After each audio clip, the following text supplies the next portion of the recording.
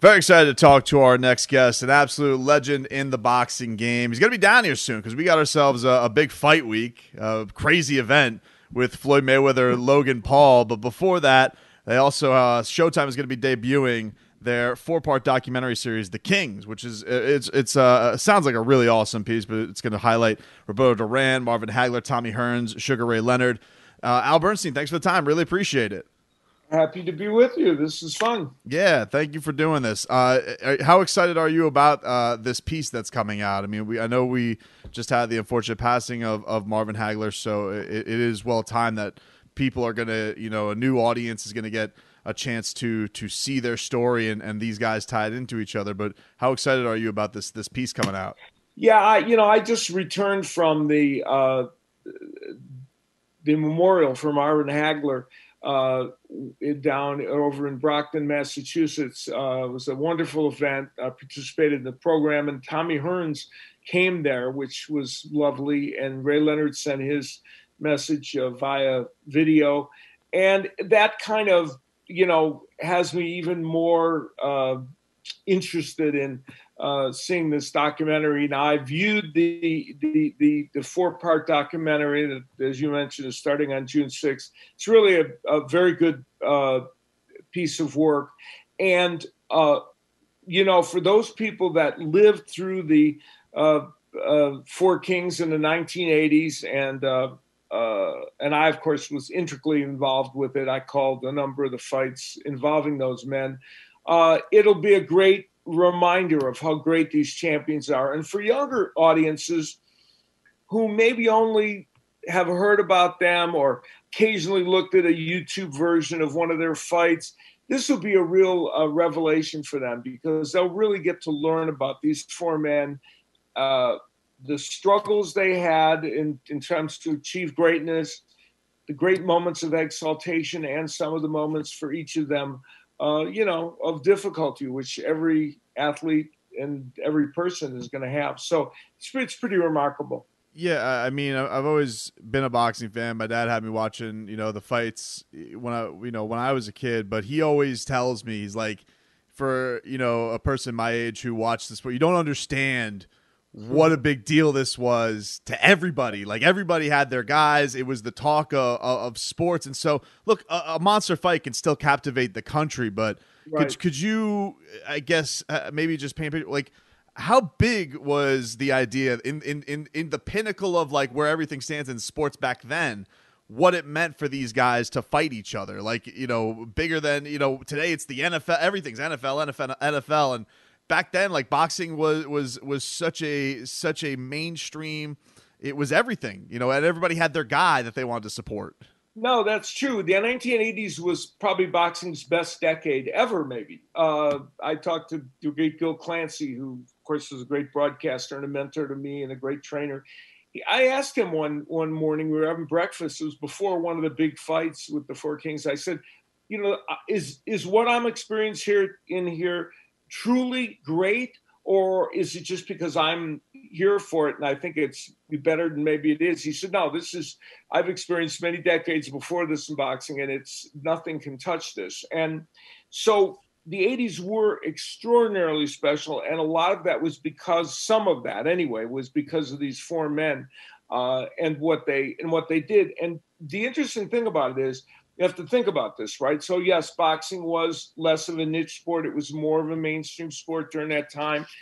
And without any social media, right? Without certain tools uh, that we now think of as, as mandatory for things to become big, any event involving these four men with each other or many times with others as well was something you stopped what you were doing for. Uh, you you you wanted to see it, you wanted to dig into it, and um, and be a a part of it. Is uh is there anything um over these last few weeks when the when there was a passing of, of Marvin Hagler that you were glad to see like people got a chance to uh, uh I guess uh, re-respect a life sometimes you know it's unfortunate that when people pass that's when we seem to remember their great memories. But just uh, what what were you happy to see in the way that he was remembered and and and uh, and honored in some of his uh, you know great stuff inside outside the ring? Yeah, you know, I think what made me most gratified, and I knew Marvin for you know very well. Uh, back then, you know, it was a little different covering these fighters. You know, we'd see them. Uh, there was a club in Vegas called Botany's. Uh, would, you'd see Tommy Hearns and his group over here. You'd see Marvin Hagler and his group over here. Uh, you know, uh, uh, Ray Leonard and his group over here in the club, and you'd be socializing with them, and it was a whole different kind of feel. And so I've known Marvin very well over the years, and one of the things that made me feel really good during this period, even in the sadness of him passing, was that I believe for the most part, uh, everyone that covered his passing got it right. You know, they they they they they understood what he meant to the sport and how special he was. And uh, and I just think in general that made me feel good because you want that to be, you know, to be the case. And I think in recent years you know, Marvin Marvin uh, didn't always feel like he got his just due, uh, but I think in recent years he has.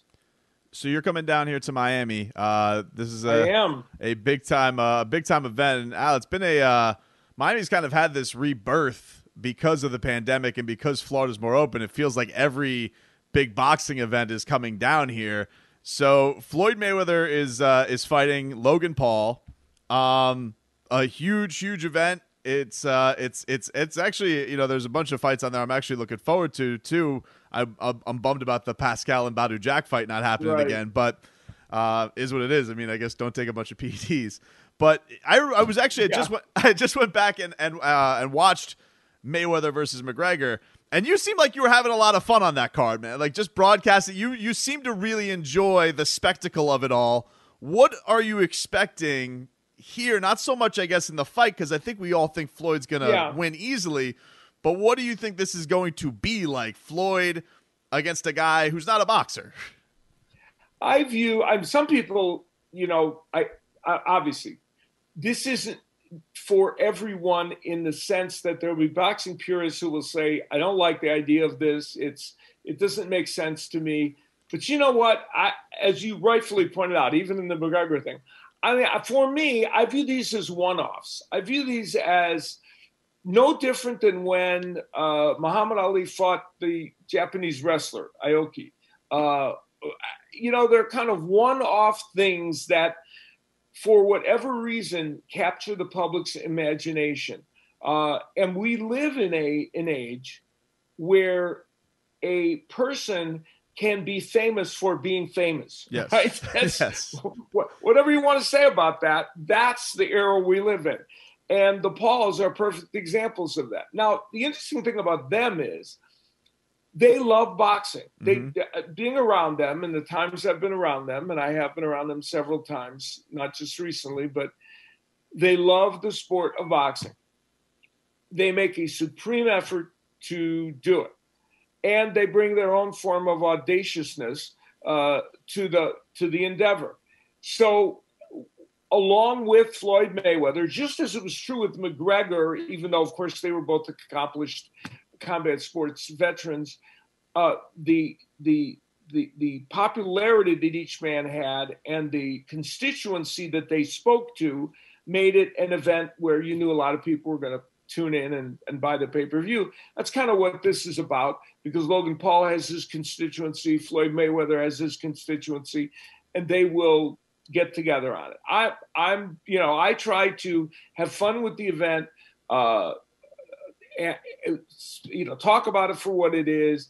Uh, take a peek at the the boxing part and and and try and help people understand what's going on there and um, and enjoy it and and Floyd's, you know, I mean, it's it's he's at a point in his career where you know you're not expecting him to go in there and fight the best of the best. Um, you know, he's kind of done all of the the top boxing things there are, and, and having everybody, you know, captivated to come come watch him box. But, um, you know, like, do you do you expect like what are you expecting in a in a in a in a thing like this where a guy's a lot bigger than him, but he doesn't have Floyd's skill set? Do you think you can take anything from the McGregor fight and thinking how Floyd's going to go about this, or do you have like no idea what's going to happen? We're all kind of going to be surprised come Sunday. Yeah, well, a little bit of both. In a way, anything can happen, uh, you know. Uh, but I think there are some lessons we can learn from the McGregor fight because early in that fight, McGregor had some success. And whether you believe that Mayweather allowed him to have success or he just happened to have some success, whatever it was, uh, I, am a firm believer that Floyd Mayweather understands this is a show. And I don't know. He's, yes, he is facing a much bigger man and all the rest of that. Whether he could create a knockout early, I don't even know. I don't expect that. I certainly expect there to be uh, uh, rounds involved here. I think Logan Paul is just going to attack. I know a lot of the people he's worked with in boxing, and they've talked about his efforts and what he's done. And, they say that he's improved dramatically over the course of time. Now, what does that mean against a person who used to be the best pound for pound fighter in the world and is what four or five years away from a couple, from from actually being a competitor uh, and and will probably train minimally for this fight. You know, train. Well, yes, we'll see. I mean, but he got the hat taken from him. Maybe he maybe, maybe, he maybe he's got a new fire. Improve on his on his hat retrieval skills. That's that may be a key element for him. Um, I don't know what it means. Um, we're going to find out though on uh, next this coming Sunday, and uh, and to go along with as you pointed out, we've got some other boxing matches. We did have Jean Pascal and uh, Badou Jack in a rematch of their light heavyweight fight, which would have been terrific. Uh, we've got a, a, different fighter in there against Jack, who who will be uh, very. Uh, he's a good fighter, and he'll he'll give he'll give Jack a good go.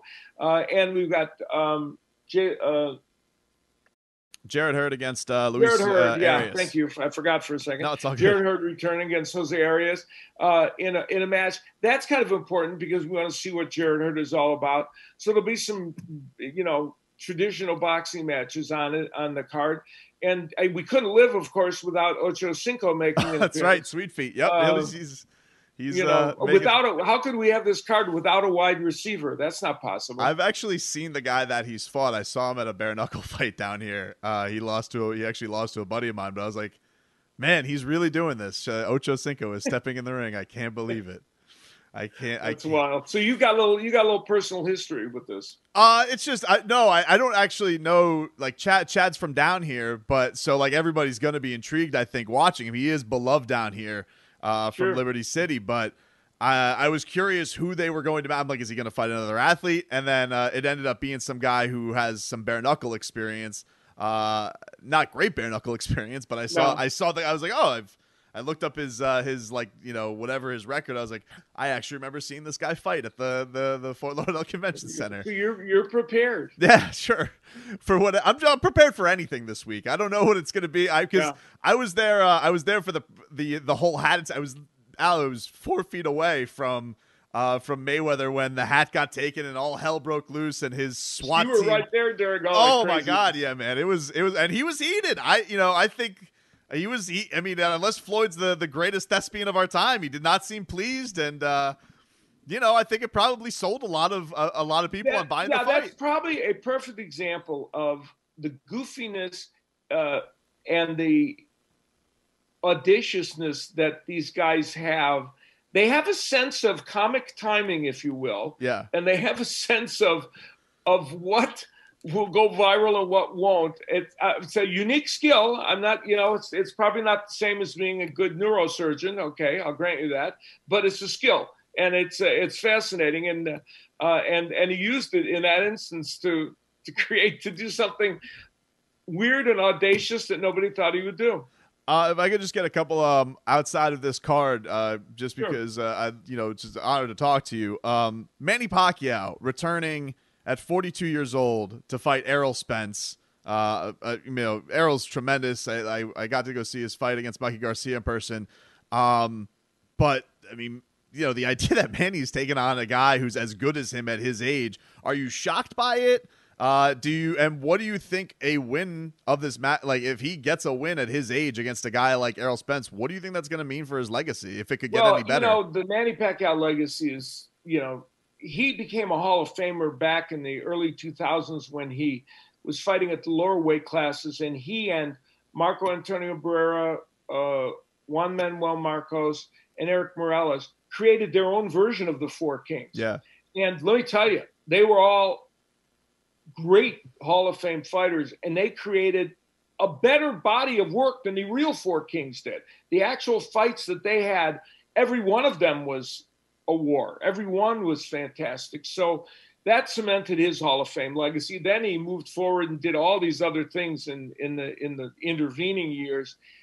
But a win over Errol Spence would be, I think, so uh, dramatic for Manny Pacquiao that it would forever cement his place as one of the all-time greats. Uh, I don't know that he doesn't need to do that to be a, a, Hall of Fame fighter and an all great, all-time great fighter, but this would take it to another level. And the fascinating thing about this, it does demonstrate Pacquiao's willingness, which he's had his whole career, to fight anybody.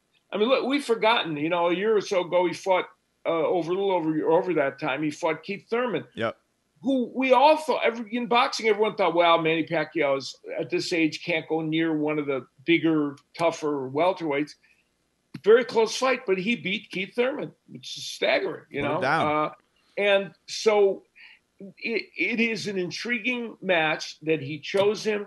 He's, he is 42. He has does have the layoff uh, to deal with, uh, but uh, one of the things that what I think might be surprising about this fight is one of the blueprints that Shawn Porter showed uh, in his fight with uh, uh Spence was the idea of boxing and punching, darting in and out, using lateral movement, attacking and not attacking, and creating a, a kind of a, a, a very um, uh, awkward attack mode Manny Pacquiao is capable of doing that, even at age 42.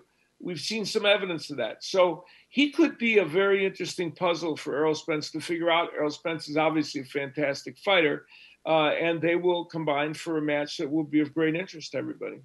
Well, I really appreciate you spending some time with us. Uh, go guys! Uh, it's he's yeah, Albert's. He's got a, himself a busy week. He's coming down to South Florida. Join Miami while you're down here. By the way, uh, it's uh, the city's gonna be fired up for this. I think we we like we're an event town now. We do. It doesn't yeah. matter what you know. If it's the place to be, Miami will be there. So you got. I agree. I, I agree. I think there's probably this is probably the perfect place for for an interesting event like yes. this because you know you guys you guys embrace the interesting and yep. that's you know that's the and and we'll see you know how it turns out but uh, I, I think that's good and I have not been to down to Miami for a little while so uh, it's a pleasure for me to come and visit your city. Yeah, so uh, check out June 6th. It's a Sunday fight. So uh, Logan Paul and Floyd Mayweather live on view. But before that, you got the Kings, the first of four part of their documentary, highlighting Roberto Duran, Marvin Hagler, Tommy Hearns, and Ray Leonard. That goes on at 8 o'clock on Showtime. Thank you so much for spending some time with us. Really appreciate it. Good to be with you.